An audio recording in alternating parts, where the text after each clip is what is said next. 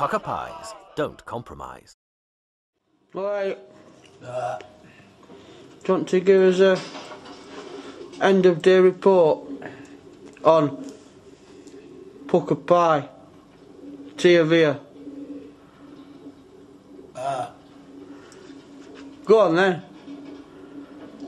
end of day.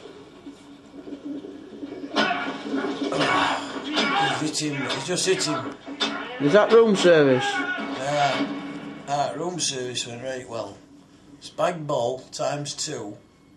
Not as good as Pukka Pies. Hang on, kid, we said. Hang on, kid. We've got your tip. yes. Had a look at wallet. Only got 50s. Sorry, kid. We ain't got one now. Off it Off went. your pop. Ah, He stopped midway through walking out the room without a tip, Thinking. thinking he'd got one, only to be dispatched a minute later without one. that were him. I thought it was funny. Well, it were. And what else happened today? Bit of uh, tea at the Ritz. Tea at Ritz. Bit of bazaar. Who did we see at Ritz? Or uh, Waddler. Chris Waddle. Andy Townsend. Loads of reporters. Sir Dave Richards and Lord Triesman. Told you. Just to mention one or two.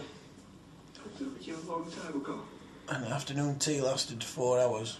I couldn't say. Very good value. Very good. 15 of your English.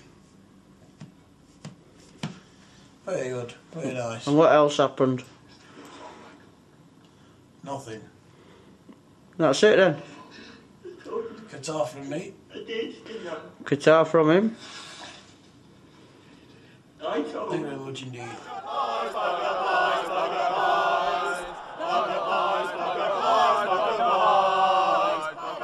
Pukka Pies don't compromise.